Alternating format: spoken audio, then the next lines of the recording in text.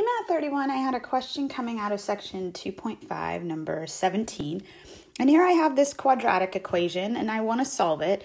So there's always the three methods to solve a quadratic equation. Right? You could factor, if it's possible. You could use the quadratic formula.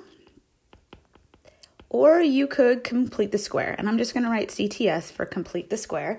And these last two methods, these always work right? They will always get you to an answer. They might take a little longer, but they'll always work. And factoring doesn't always work. That's the downside to factoring.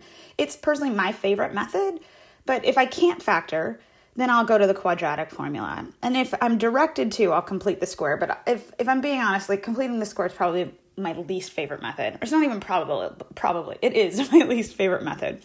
All right, so we take a look at this one, right? I've got 7x squared plus 3x equaling 0. Now, I'm going to opt to factor this. And again, keep in mind, I could have easily just used the quadratic formula. But the thing I notice is that I've got a GCF. You see there's an x squared and an x here. So let's go ahead and factor out the x to get x times 7x plus 3 equaling 0. And then I have two terms that multiply to 0, right? I have an x and I have a 7x plus 3. So from the zero product property, either x is 0 or 7x plus 3 is 0.